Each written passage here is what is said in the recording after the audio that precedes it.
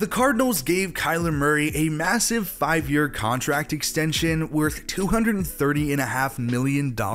It makes him one of the highest paid quarterbacks in the NFL and locks him up through 2028. 160 million of those dollars are guaranteed for injury, and 105 million is guaranteed from signing. It equals out to about $46.1 million per season, which is only second in the league behind Aaron Rodgers, who is making 50.3 million a year. It also has the second most guaranteed money behind only Deshaun Watson's $230 million fully guaranteed deal from the Browns. I mean, I still don't know why the hell Cleveland agreed to that, but you know, the Browns are the Browns. There was a very interesting clause included in Kyler Murray's contract labeled Independent Study Addendum. The addition to the contract said that Kyler had to study film for four hours a week. The Cardinals were going to give him film to watch to prepare for the team's next game, and he had to get credit each week for watching that film. That didn't include the time that he's in meetings at the Cardinals facility, and if he didn't study the film in good faith, it apparently wouldn't count. So he wasn't allowed to count watching the film if he was doing something else that distracts him, like playing video games or watching TV. There's certainly a history with Kyler Murray in gaming. He has a dual monitor setup and live streams on Twitch. Kyler listens to music and relaxes while playing games. He said it's a good way for him to calm down after football.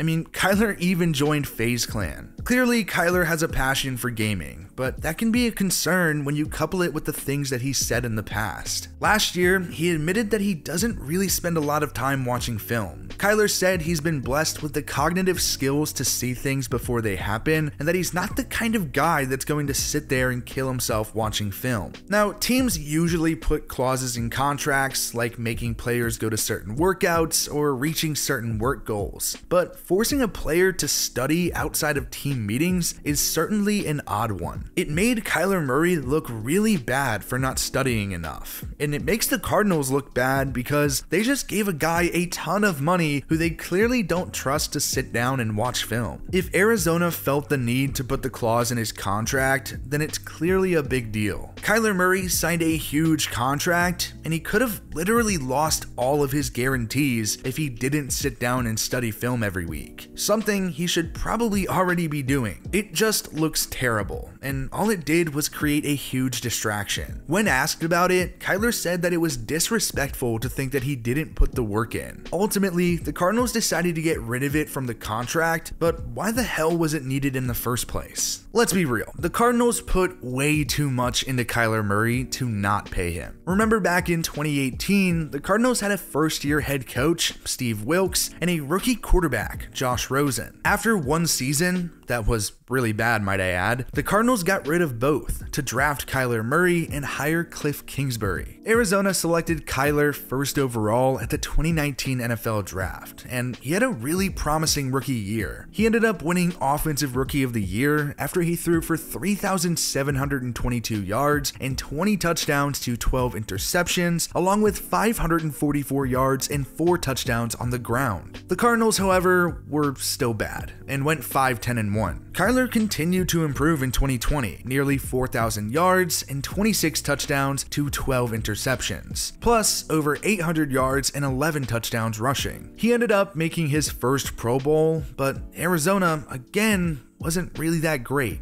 just going 8 and 8. Last season was kind of the tale of two halves for Kyler and the Cardinals. Arizona started off 7 and 0 and looked really good. Kyler was even in the MVP conversations, but then he went down with an ankle injury and missed 3 weeks, and the Cardinals just fell apart. Kyler ended up throwing for 3,787 yards and 24 touchdowns to 10 interceptions and had over 400 yards and 5 touchdowns on the ground. He went 9 5 in the games that he started, but the real story was in the postseason, his playoff debut, where Kyler really struggled. The Cardinals got absolutely mauled by the Rams, and Kyler threw for just 137 yards, didn't throw a touchdown, and had two picks during the game. I think the most exciting thing to watch this season when it comes to Kyler Murray is going to be his connection with Hollywood Brown. In the one year Kyler did start in college, his top wide receiver was Hollywood Brown. And what was his junior year? Hollywood had 1,790 yards and 10 touchdowns. He was named a first team All American for his efforts. The Ravens drafted him in the first round in 2019, and as a rookie, Hollywood had 584 yards and 7 touchdowns. He did improve the following year with 769 yards and 8 touchdowns. Then in 2021, Hollywood had over 1,000 yards for the first time in his career and added 6 touchdowns. Following Brown's career year, at the 2022 NFL Draft, the Ravens shipped him in a third rounder off to the Cardinals for a first. But the reality is that he hasn't been nearly as good as he should have been. Hollywood hasn't quite proven that he can be a number one wide receiver, and it looks even worse when you consider the guys drafted after him too. Deebo Samuel, AJ Brown, DK Metcalf, Terry McLaurin, and even Hunter Renfrow. Maybe Hollywood will be even better with a quarterback quarterback that he's already familiar with from college, and it's undeniable that Kyler is the better passer between him and Lamar Jackson. Arizona certainly overpaid for Hollywood, but it's obvious that they were really desperate for a wide receiver. DeAndre Hopkins is coming off of the worst year of his career, a lot in part to a hamstring injury and then a torn MCL. Then in May, it was announced that he was going to be suspended for the first six games in 2022 for taking performance enhancing drugs. So, no Hopkins to start the season, and the Cardinals' number one statistical wide receiver in 2021 was Christian Kirk, who left in the offseason to sign with the Jaguars because, you know, they were stupid enough to give him $72 million.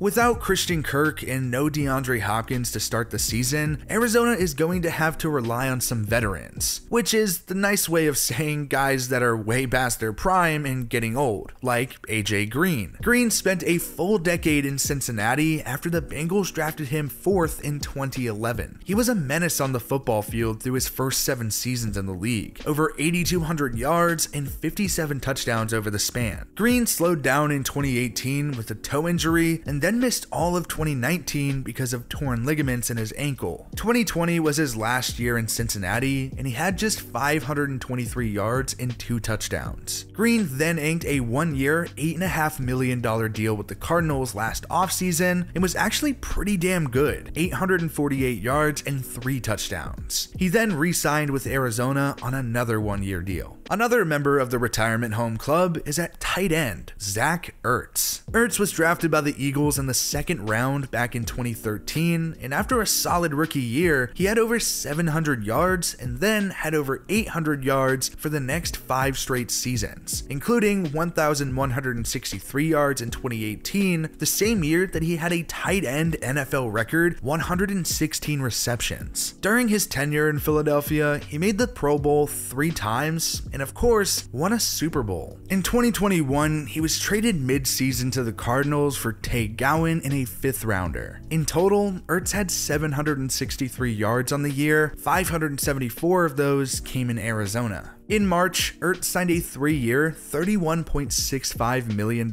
extension. Luckily, Ertz can help block, because the Cardinals' offensive line isn't exactly going to be stellar in 2022. Arizona, nicely put, has an old offensive line. It's veteran heavy for sure. The average age of the starters come week one will be over 30 years old. Justin Pugh, Rodney Hudson, and Kelvin Beachum would have made one hell of a unit about five years ago, but now it's just a bunch of guys on the downswing of their careers with injury concerns. DJ Humphries is probably the best player on the line at left tackle as he enters the last season of a three year, $45 million contract. It's going to make life specifically hard for James Conner, who just signed a three year extension in Arizona this offseason. After four years in Pittsburgh, he signed with the Cardinals in 2021 and ended up scoring 18 touchdowns, 15 of those on the ground, and adding over 1,000 yards from scrimmage. The Cardinals are entering a bit of a tough crossroads this season. It's been three years since Arizona fired a head coach and got rid of a young quarterback after only one season to bring in Cliff Kingsbury and Kyler Murray. They only have one winning season together and got blown out badly in their single playoff game. Not to mention that life isn't going to be particularly easy playing in the NFC West. The Rams literally just won the Super Bowl and might be even better this year. The 49ers have a very good roster, and Trey Lance could even end up surprising a lot of people. The Seahawks are also there. The Cardinals are going to have to prove that this is a team that can contend. There are a lot of questions and little success to actually show for it. Arizona has made some bold moves in the past, and they're going to get criticized for good reason. And the fact that the Cardinals felt like they had to force its franchise quarterback to watch film is just the cherry on top.